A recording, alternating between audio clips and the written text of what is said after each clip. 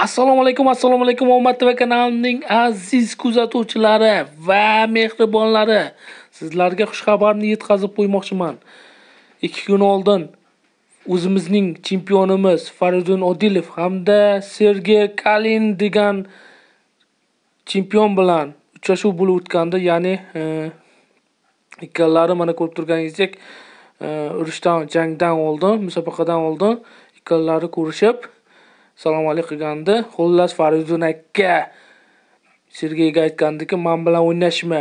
man tojik bo'laman, Tojikistondan bo'laman" deb ogohlantirgandilar. Lekin Sergey e'tibor bermadi va ko'ramiz dedi va nihoyat mana bugun hozir, hozirgina o'sha jang bo'lib o'tdi.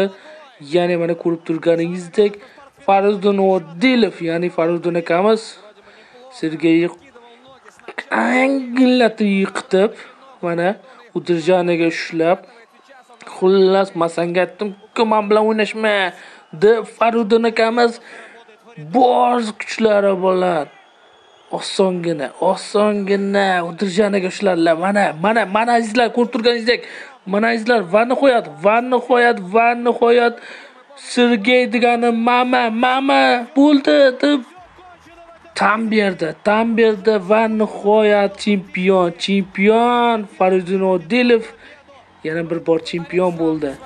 Mana ko'rib turganingizdek, mana ko'rib turganingizdek fariddin akamizning xushchaqchaqliklarini ko'ryapsizmi?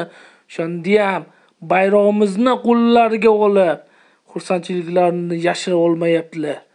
Malades Faridun aka. Biz siz bilanmiz. Olg'a, olg'a.